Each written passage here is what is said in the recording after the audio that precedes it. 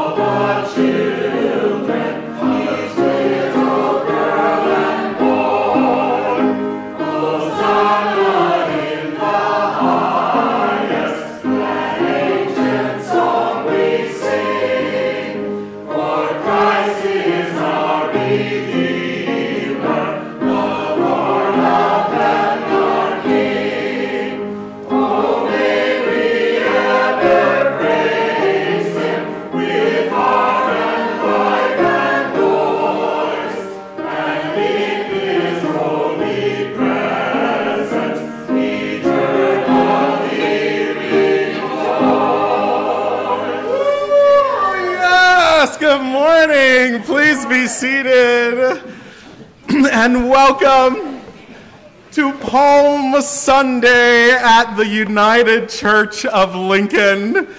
Oh, the kicks off Holy Week, these high holy days in the Judeo Christian calendar. We are delighted that you have chosen to be with us in observance of Palm Sunday. And for the regulars, it's good to see you. We have just a few announcements before we begin our worship service this morning.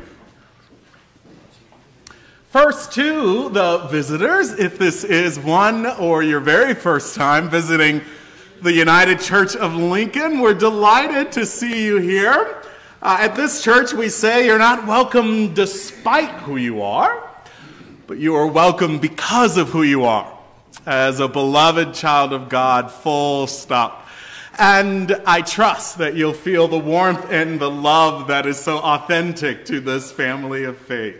If we've not had the enchanted pleasure of meeting just yet, I'm Reverend Co'Relous Bryant, and I'm the pastor here at the United Church of Lincoln. Uh, and if we don't get a chance to meet during the service, I'll be at the door to greet you enthusiastically. We have just a few announcements before we transition into our worship service. As I mentioned, this is Holy Week, High Holy Days on the Christian calendar, and we have a series of service opportunities for you throughout this week. Uh, today, Palm Sunday, you're off to a great start. One down. We will also have a Maundy Thursday service here uh, at the church. That is going to be 6:30 on Thursday. If you still have your slips there, it's also in your bulletin. We will be doing a Good Friday service, and that will be at 12 noon on Friday here at the church. On Maundy, Thursday, we'll be observing communion the, the Eucharist, as well as a tenebrae service, which is this really powerful service of light and shadow and darkness as we journey with Jesus to the tomb. For Good Friday, it will be a full Good Friday observance, and it will feature the foot washing ritual. This is uh, the scene in the biblical text where Jesus kneels to wash the feet of his disciples. If you're not enthusiastic about the foot washing part, uh, I've gathered that some of us are not. Uh, please come and observe Good Friday anyway. It is not mandatory. Um, and we will have a full Good Friday litur- uh, liturgy. So I invite you to come and observe Good Friday, even if you don't come down uh, for the foot washing ritual. But if you do, I will be uh, the only one. Um, uh, again, it's a ritual, so there's not going to be like soap and a scrub brush and, you know, if you've got some things you want me to, to, to deal with, I can't do that. If there's, you know, um, in fact, if you want to get a pedicure before you come, uh, so nothing elaborate. The classic ritual is I will pour water over your feet and I will dry them with a cloth. And that is the ritual. So if that appeals to you, I- I'll tell you if you've seen the mural in my office if you've seen one of my business cards, the foot washing scene is my favorite image of what it means to be a pastor. And so, if you could grant me that opportunity to demonstrate that, I'd be deeply honored uh, by that. But gauge your, gauge your own comfort zone there.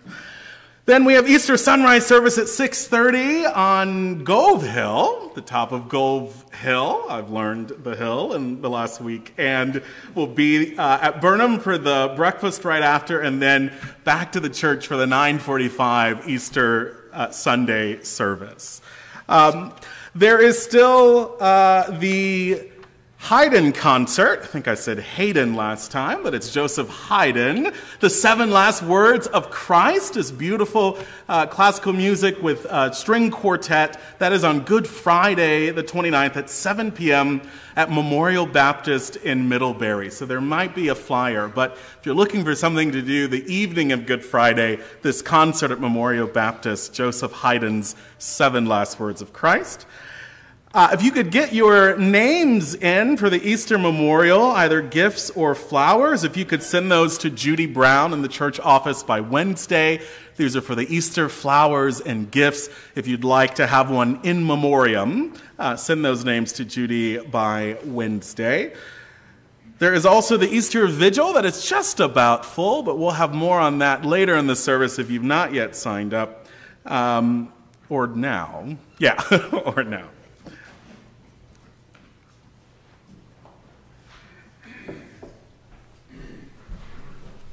Good morning, church. I actually have two announcements. Uh, the American Baptist Home Missions, we are going to take it. We take a deacon offering every month for a certain missions, and so ours this month will go to them.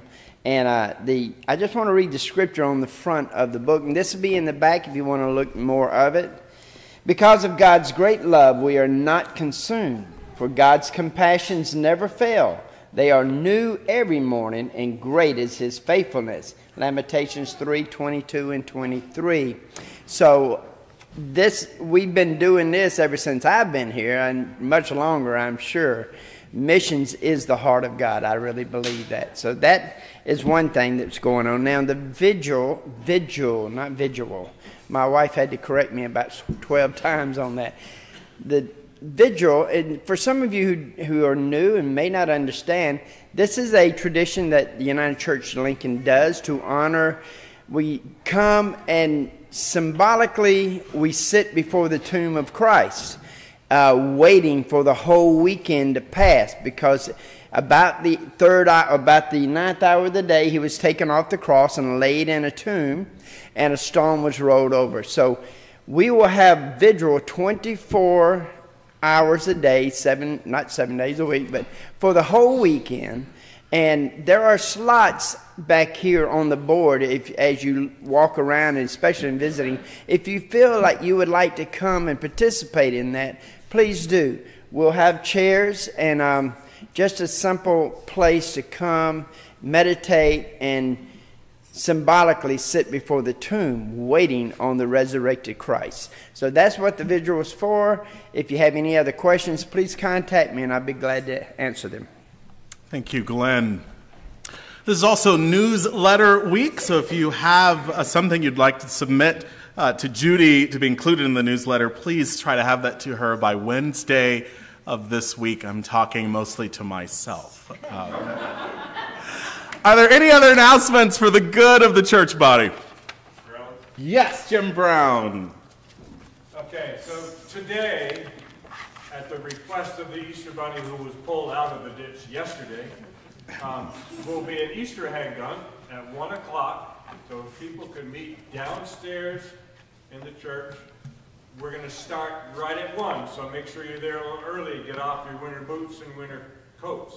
And if you know somebody at home who would like to come, you'd like to give them a call, do so after church. We will not have second hour, which will allow the Easter Bunny time to hop around.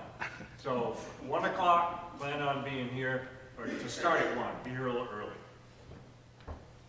Yeah. Thank you, Jim. Any other announcements? Yeah, Kathy.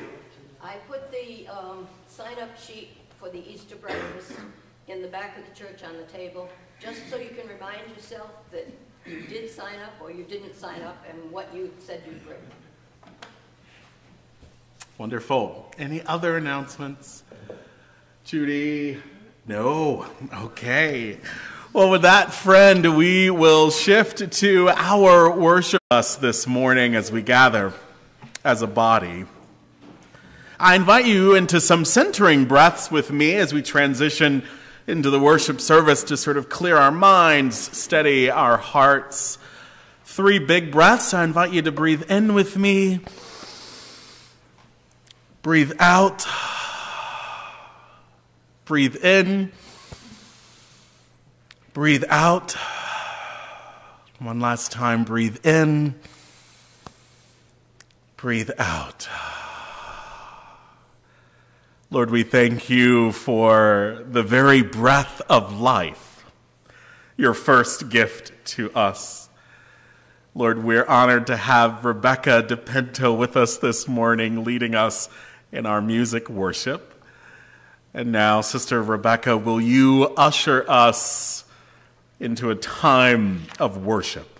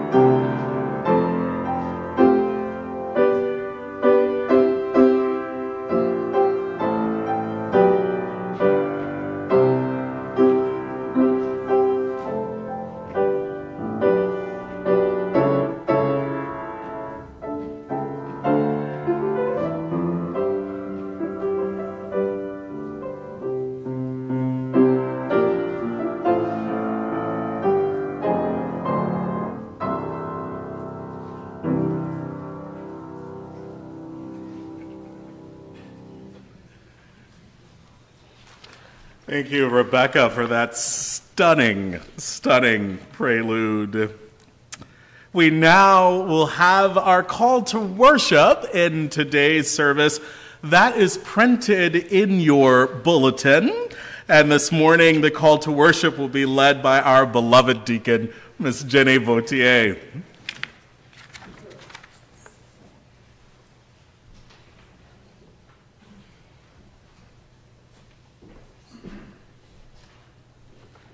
Good morning. Good morning. Did the stones know? Did the stones know they would soon have to shout Hosanna because those who had first shouted it would soon be shouting Crucify? Did Jesus know? Did Jesus know that those who followed in this fickle crowd would soon turn their backs on the only hope they had? Did Jesus tell the stones? Did Jesus tell the stones that they would be to shout, for they alone knew the secret of tombstones? Do we know? Do we know when to shout for joy or justice, and when to silence the voices of hate and harm? Lord, in the rock shout for me. Amen. The quote for today is a scripture verse. Some of the Pharisees in the crowd said to him, Teacher, order your disciples to stop. And Jesus answered, I tell you, if these were silent, the stones would shout out. Our first hymn of the morning is hymn number 95, At the Cross. I invite you to stand if you are able. And if you would like to, hymn number 95, At the Cross, let's stand and lift our voices together.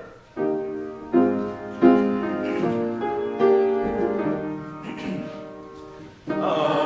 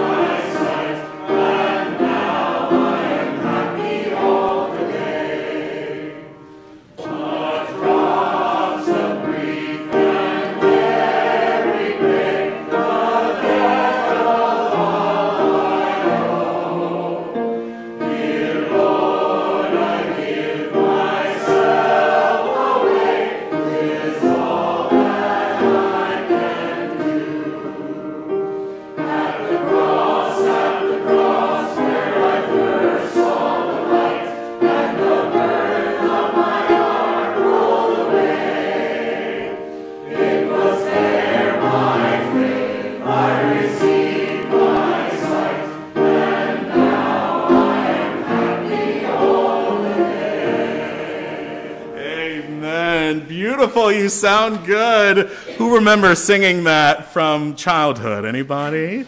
Just a few of us for whom that was that was a, a powerful hymn there. Uh, remain standing for a word of prayer, Lord. We come on this Palm Sunday, the start of Holy Week, where we follow love incarnate on the way to sacrifice, on the way to death, only to not be defeated and rise again. But on this side of that journey, open our eyes and ears and hearts to think more deeply this cycle about what it means to follow Jesus, to follow love incarnate, to follow the Christ. Let this Holy Week bring us deeper and deeper in our examination of what it means to follow you and what it means to count the cost and what it means to lift you up. Lord, be with us in this service today.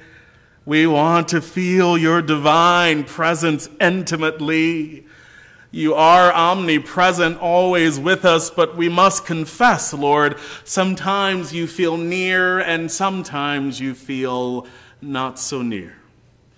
So, Lord, we are beckoning that you boldly occupy the space, abide with us, commune with us, dine with us. And we'll give you thanks and praise. And we ask this in the way that your Son Jesus taught us to pray by saying, Our Father, who art in heaven, hallowed be thy name. Thy kingdom come, thy will be done, on earth as it is in heaven. Give us this day our daily bread and forgive us our trespasses as we forgive those who trespass against us. And lead us not into temptation, but deliver us from evil. For thine is the kingdom, and the power, and the glory forever. Amen.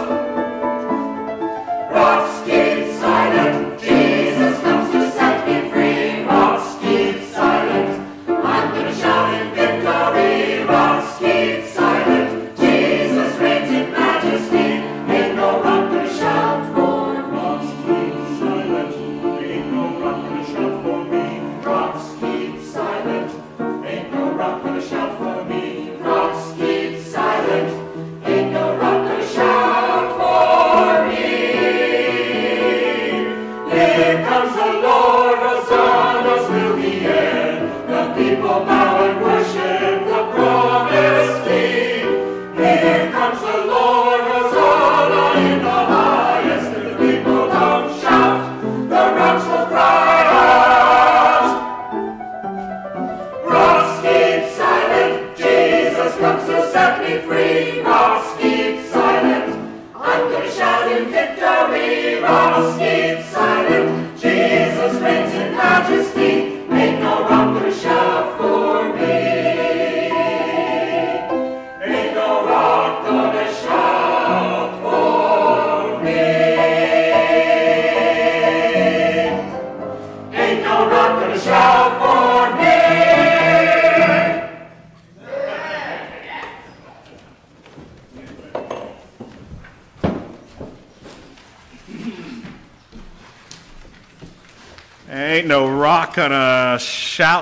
me. Amen. Amen. Now we turn to our children's message, which is an opportunity to share with our younger friends a message that's on our heart. And today, the children's message will be brought to us by our beloved deacon. Yeah,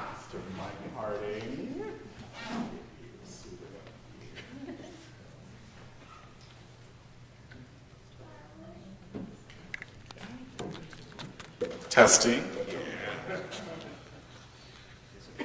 Just what I need, another microphone. Thank you. You're welcome. Well, I guess I'm wired. Um, let me pull this up, because if I sit down on the edge here, I will not be able to get up until supper. Well, as, as you may have gathered from today's service thus far, that the purpose of today, what, what this Palm Sunday is about, is, is, is Jesus' entry into Jerusalem. And it was to observe the Holy Week with his disciples. And part of his celebration they had planned on was a dinner party. Well, first of all, Jesus sent his disciples out to find means of transportation. And in Mark, Luke, and John, it says that Jesus sent the disciples out to find this donkey and bring it back as transport for Jesus. Matthew, however, says they were sent out to get two donkeys and bring back two donkeys. And I'm just wondering what happened to that second donkey. May have been sort of like their version of horse wrestling. I'm not sure. But um, that's been one of the questions I've had about this era, this event. and the people uh, lined the streets and they laid down their palm branches and their jackets and things like that on the street. And they, and you heard it today, they shouted, Hosanna.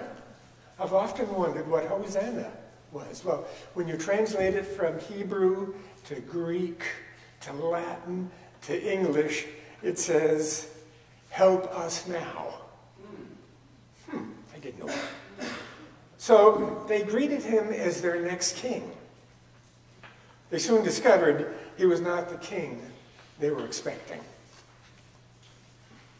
Now, as we've heard from most of this morning is about this rock thing, is that some of the Jewish um, religious leaders, the Pharisees, those guys, approached Jesus while he was on his donkey and said, keep the noise down. Uh, you know, things could get out of hand. We could have a riot on our hands here. Tell him to hush. And that's when um, Jesus said, if the, well, to me, said, uh, well, Luke is paraphrasing, it says, Jesus replied, I tell you, if they keep quiet, the stones will cry out. If the crowd had gone silent and the rocks had cried out, it would have been the world's first rock concert. Not all bad. In any event, let us celebrate the arrival of Jesus into our hearts. Amen. Amen. Thank you, Brother Mike. Rock concert. Ah. All right, friends, we are off to Sunday school, I believe, and we. W- 287, 287. Were you there? I invite you to stand if you are able and if you would like to, so that we may lift our voices together. Were you there? Hymn number 287. Let us stand and sing this hymn together.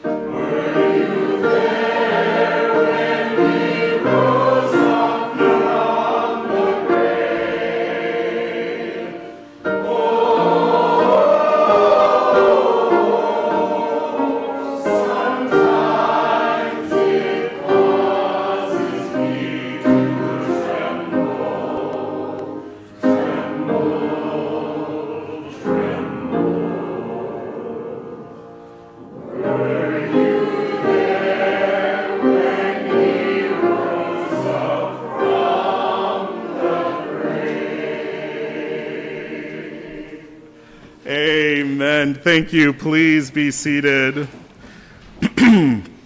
Were you there? Were you there? Our scripture reading this morning comes from the Gospel of Mark, and it will be led by our beloved deacon, Miss Lori Atkins.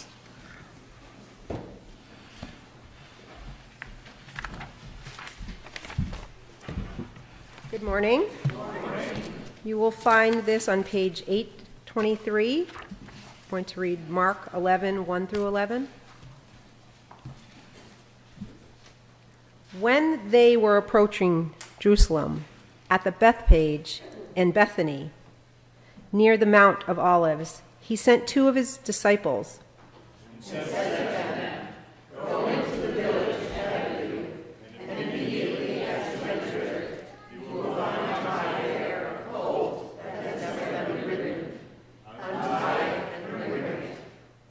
If anyone says to you, Why are you doing this? just say this The Lord needs it, and will send it back here immediately.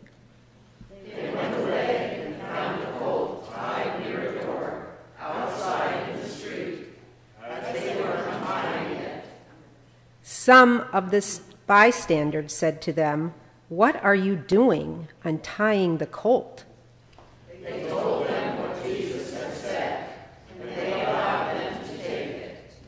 Then they brought the colt to Jesus and threw their cloaks on it, and he sat on it.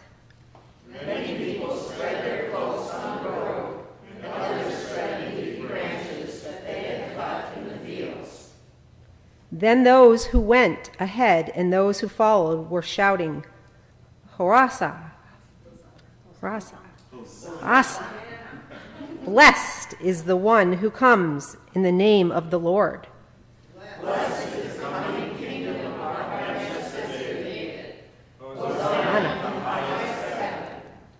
Then he entered Jerusalem and went into the temple. And when he had looked around everything, as it was already late, he went out to Bethany in a dog.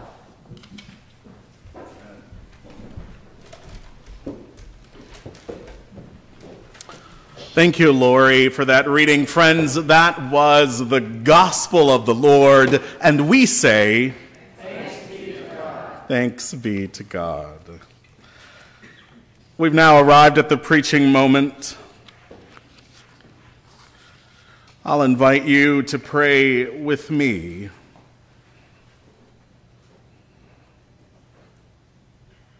Lord, let the words of my mouth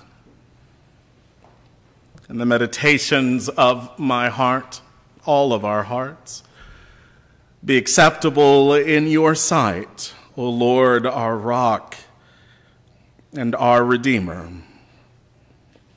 Breathe on us. Breathe on us. Amen. I can't believe I made it into the story.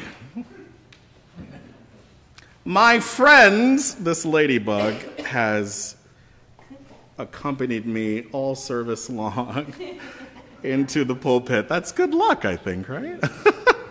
Hopefully, I didn't just step on it. Um, no, she's still, she's somewhere. She's still there. Uh, thank you, Lord. Uh, you know, my friends don't believe it's me. But let me assure you, it's me. Jesus may win Best Lead Actor in this story, but as for Best Supporting Actor, that honor is mine. Without me, the primary action of that day just doesn't happen. If it's the turkey for Thanksgiving and for some weird pagan reason, the bunny for Easter, then folks, for Palm Sunday, it's the donkey. It's me. Side note for those of you who've been wanting to call your pastor one of the donkey's famous nicknames, this is your only chance. It's me, the donkey. I am the best supporting character on this Palm Sunday, and I must tell you my story. First, let me clear up some confusion, Mike Harding. I know different accounts of this story uses different language to talk about me. Some just say donkey, some colt, some foal, and some uh, mention that there might have been two. Because I am a male and less than four years of age, I am a colt. And if I were a female less than four years old, I'd be a filly. And if me or my sister were one year old or less, we'd both be foals. And if God forbid that day of darkness arrives when I'm made to separate from a part of my own body, you know that dreadful day, then I'd be what you'd call a gelding. or a male donkey who's no longer intact. So I'm a cult. And because I am a cult, Mike, uh, less than four years old, often you will see me accompanied by my mother. Because often I'm not going to go out into this world and venture out unless my mother is right by my side. So my mother was playing an invisible support role, but it really was all about me. So some gospel writers mention that she may have been there and others do not. And I'm not just a cult, any cult. There's a detail about me in this story that makes it all the more gripping. I'm not just a young donkey, which humans are reluctant to ride. I am also a donkey that has never been ridden. Prior to Jesus, no one had ever sat on me before. And it's that fact that compelled me to share my story with you today. Jesus was the first person I ever carried. And because it was my first ride, I remember it like it was yesterday. I know what it means to carry Jesus. I know what it means and what it feels like to carry Jesus with me through life. I know what it's like to lift Jesus up. I vividly and passionately know what it means to carry Jesus. Do you? Do you know what it is to carry Jesus. I don't know what your experience has been like, but I'm about to tell you mine. First, who do you say I was carrying? Because I've heard various different answers on this. On that day, on Palm Sunday, some say I was carrying a king a king that would set up a new kingdom of God on this earth. Some say I was just carrying a really good teacher, a rabbi who knew the law really well and taught people how to live. Some say I was carrying a leader of a revolution who had come to overthrow the Roman Empire. Some say I was carrying the greatest friend a human can have, a friend that sticketh closer than a brother or sister. And some say I was carrying the Son of God. Some say I was carrying love incarnate. Who, who do you say I was carrying? Who is this Jesus to you? There were three amazing things that happened to me as I was carrying Jesus. I, I, I all of a sudden was reminded of my value. Before those disciples untied me, I was just a young colt. I thought I wasn't big enough or strong enough to do anything that mattered. Other donkeys who were much bigger and stronger than I got to participate, but I was left out. But on that day with Jesus, I learned what my true value was. The world may have looked at me and not seen much. The world may have looked at me and counted me out. The world may have looked at me and written me off. But when Jesus looked at me, he gave me a purpose just as I was.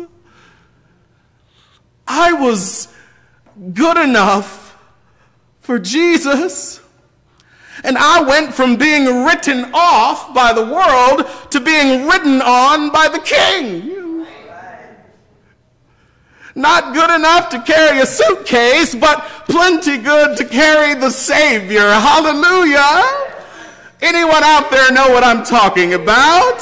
How Jesus can remind you of who you really are, that you have value just the way you are. I, I could almost preach up here.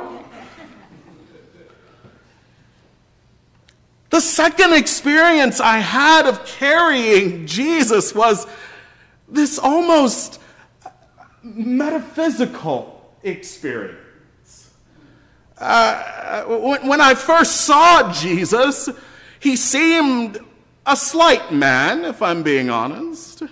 I mean, he mostly ate at potlucks in the homes of others, and then he walked everywhere. But when he first initially started to sit on me for a nanosecond, I felt this indescribable weight. Almost like he was carrying the weight of the world on his shoulders. It was extremely brief, but just for a tiny moment as he first started to climb up onto me, there was a heaviness that only he could understand.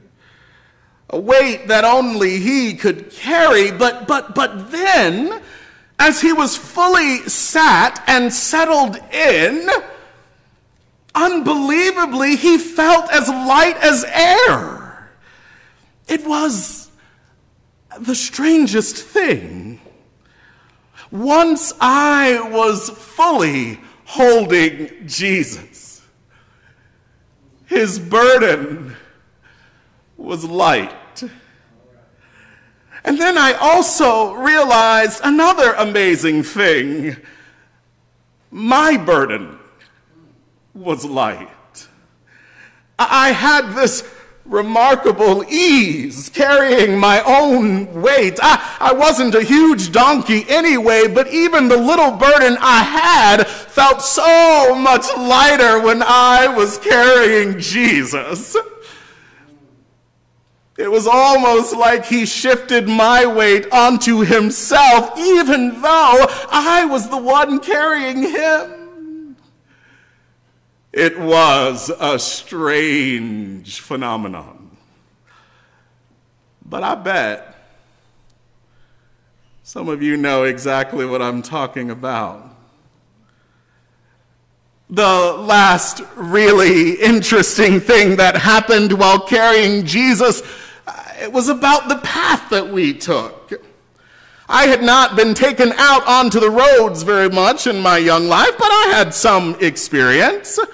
And if you're not familiar with the road conditions in the greater Jerusalem area under Roman occupation, you know, unpaved, hazardous, difficult to maintain, I was told by your pastor that you'd have no problem relating. But with Jesus, even the path ahead was clear and easier. I, found myself no longer walking on rocky, dusty roads, but instead on soft fabric and palm branches from the people who had come to praise Jesus. They, they threw their cloaks and their, their palms in the path of Jesus. The pathway when carrying Jesus became cushy and soft and comfortable, which meant I could walk a little farther in my journey. I could travel a little longer and a little easier. With Jesus straightening out my path and softening the way, it makes the roads of life a little easier to travel on. And it makes it easier for you to travel just a little while longer. Anybody here know what that's like? Friends, it was a day I will never forget. I, I don't know if, if you know what it's like to carry Jesus, but I would highly recommend it. I give it five stars. When the world counted me out, he reminded me of my value and purpose. And when life could have felt heavy and weighed me down, he shifted my burden unto himself. And when the path was rocky and the road was hard, he made the path soft, at least for that day. And that's just what he did on this Sunday. I'm told that next Sunday he will do something different. I'm told that next Sunday he'll do something something even greater. I'm told that next Sunday he will go the ultimate distance for you and he will be the one carrying you. But on this Sunday, do you know what it's like to carry Jesus? I have my story, and it's one I'll never forget. Do you have your own? Do you know what it's like to carry Jesus? Do you? Amen.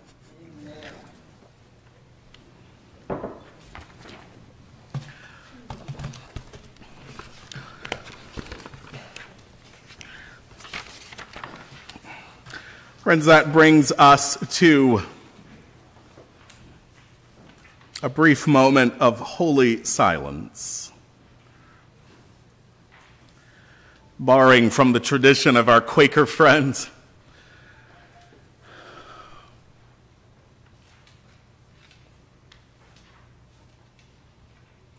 In this silence, we can notice the beauty of being gathered being one. In so many other phases in our life, we might feel alone in this remote rural region. But in this moment right now, we are one.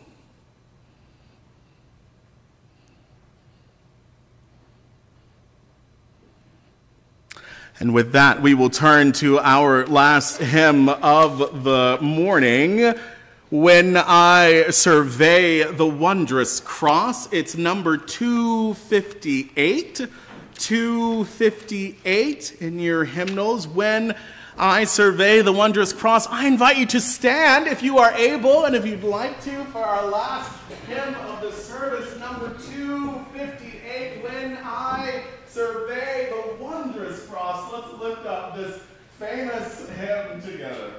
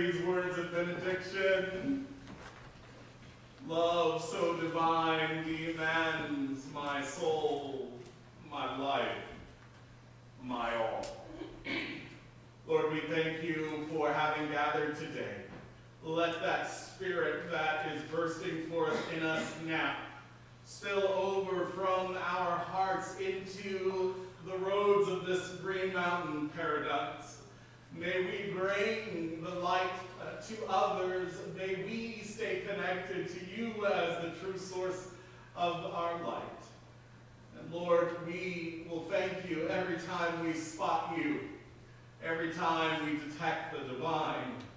Make yourself plain to us, Lord, and give us the eyes to see it. On this journey to Holy Week, let us deeply reflect on the path we follow, the path that Jesus has laid out for us. Go in peace, my friends, to love and serve. Amen. Amen.